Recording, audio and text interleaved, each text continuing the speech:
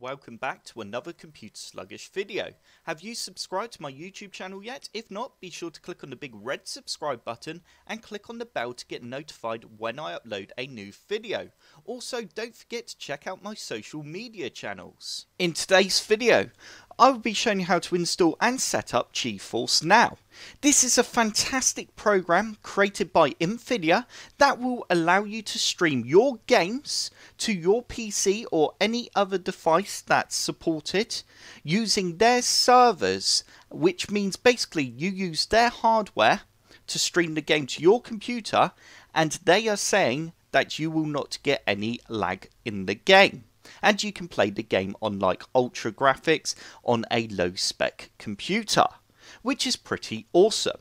If we click on join today, as you can see, we have the free version, but you can only play the game for one hour and then it will disconnect you, and you will have to go into a queue to be able to join onto the service again. Or you have this option here, the Founders, which is for £99 a month at the moment, and you also get a free 90 day trial.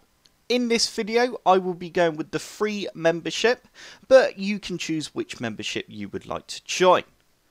To start off with then, first you need to press join on either free or the founders, and you will then end up on a page that looks like this.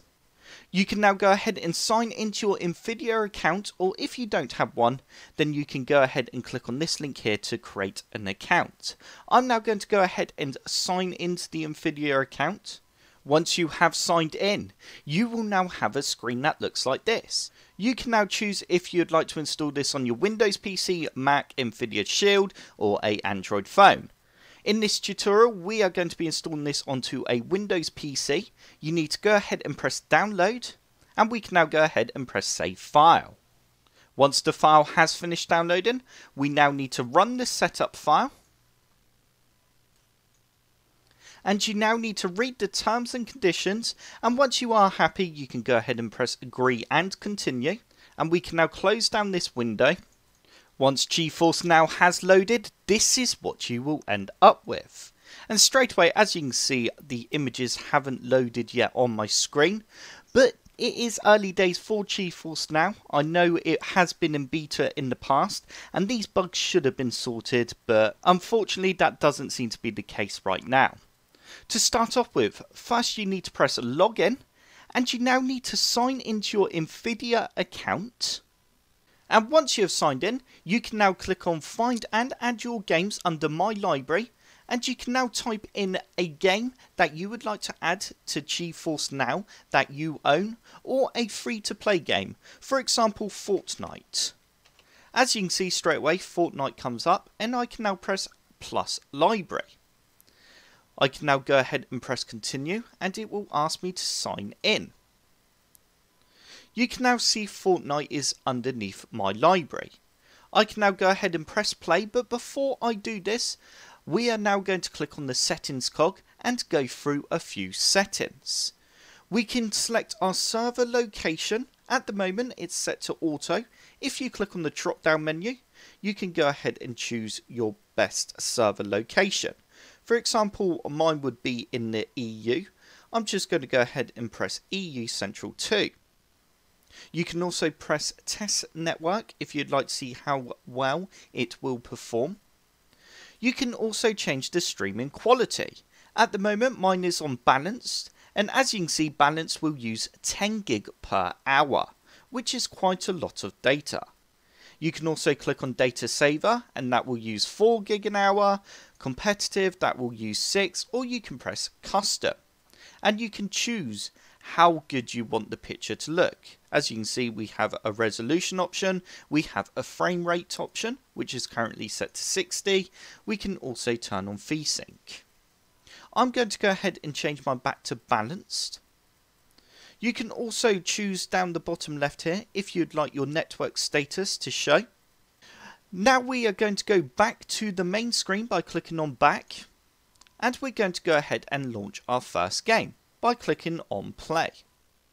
You now need to press allow and give GeForce Now access through your firewall. And as you can see, because I am using the free membership option, I have got a little queue that I need to wait in. There's currently 42 people ahead of me. If you do upgrade, then you will skip this queue. And you now need to go ahead and sign into your Epic Games account.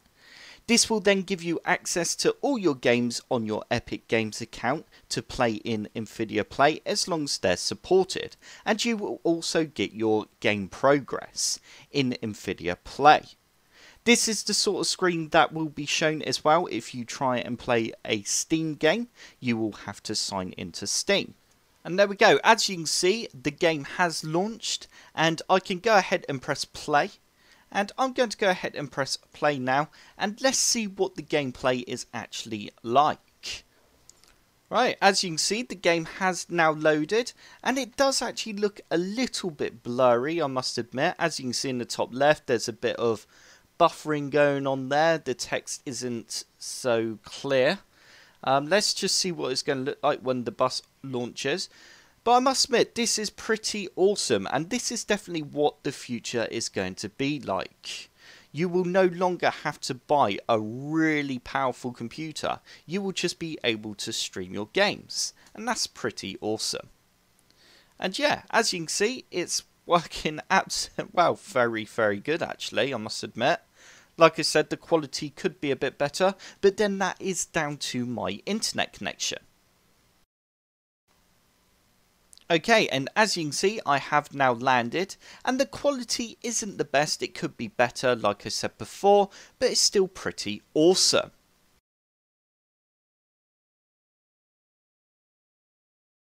If you would like to add a Steam game to your library, then all you need to do is find a game that is supported in GeForce Now that you do have on your Steam library. Click on Find Your Games, find the game, press Add, and then when you boot the game, you will be prompted to sign into your Steam account. And then you will be able to play the game. And that is it for this tutorial. I hope this video did help. If it did, hit the like button below and subscribe for more computer sluggish tutorials. Don't forget to check out my social channels.